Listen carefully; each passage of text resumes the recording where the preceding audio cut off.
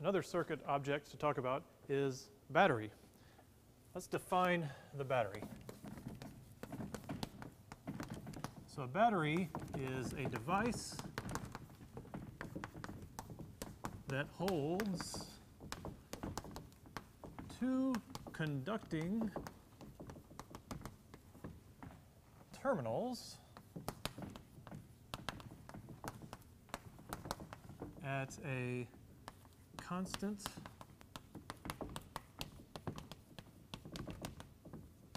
potential difference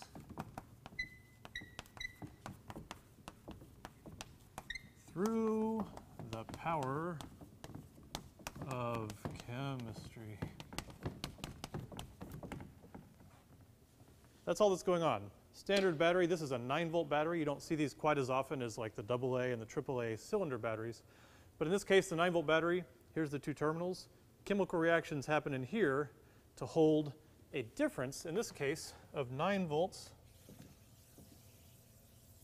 between the terminals. So one kind of looks like this, and they're shaped different so you can tell them apart and so that they can clip together. And one kind of looks like this. One is the positive terminal, terminal. One is the negative terminal. And we know that it's a 9 volt battery, so that means the potential difference it holds is, is 9 volts. When we're thinking about batteries and circuits, we have to think about where's the potential zero. So for point charges, we said, oh, the potential zero will always be at infinity. When you're doing field theory, the potential zero at infinity.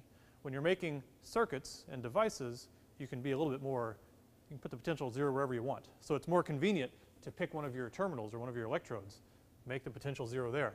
So in this case, we're going to say the negative side will be just called zero volts. And if that's zero volts, then this is at plus nine volts. So potential is always a difference, but if you define a zero, then you can start defining absolute potentials relative to that zero. So let's think what's happening really in this region. Well, if we have 9 volts here and 0 volts there, we actually have an electric field in here. So every time you hold a 9 volt battery, you're wielding a little electric field between its terminals. And you can say roughly what it is. Well, it's about 9, uh, a magnitude of about 9 volts per centimeter right along that line. They're not parallel plates. It doesn't make a uniform field, but it does make some sort of a field. We can also think about the potential. Well, these are conducting electrodes, so they must have equipotential surfaces all along their surface. So here is the zero volt equipotential surface. It's the surface of that terminal. And here is the 9 volt equipotential surface. It's the surface of that terminal. And we know then also that the potential is going to go down as we go along the field. So the 8 volt line is probably something like that. 7, 6, 5, 4, 3, 2, and then the 1. So we can actually do field theory inside of a battery if we really want to. So that is sort of a law of physics and chemistry, that the chemical reactions in here must hold these at a potential difference of 9 volts. What we're going to do now is we're going to break the laws of physics. Now, it's a little bit risky and scary to break the laws of physics. You never know what's going to happen. But we're going to break them somehow because we're going to set something up where two laws can't be true at the same time. The laws of physics and chemistry require that the terminals of the battery be at a different potential. But we also talked about how in a conductor, the surface has to be all at the same potential right? Because it goes, all the electrons will move to make the surface all be at a constant potential.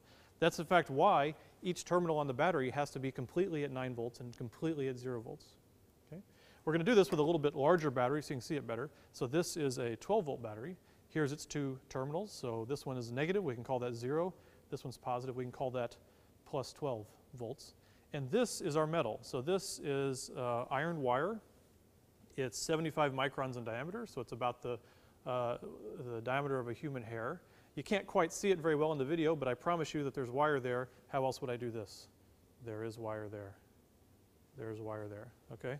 So I'm going to take this metal wire and I'm going to place it across the terminals of the battery. So we're somehow breaking the laws of physics. We can't have this be at 9 volt or 12 volts, this be at 0 volts, and this all be at the same because we're going to make one essentially large conductor.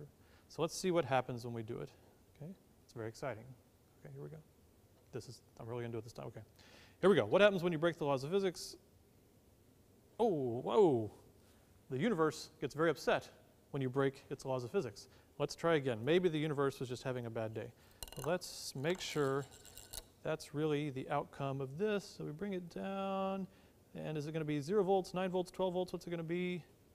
The universe says, nope, can't exist, has to go away. So the answer is no. Apparently, this you just can't do this. Right? So it, it's impossible. So we have to figure out what's going on. Well, as I alluded to in our discussion of what's happening with um, the metal plates in a capacitor, whenever something looks wrong in physics, there's always an answer. You can always figure it out. And almost every time, the answer is you deviated from your model.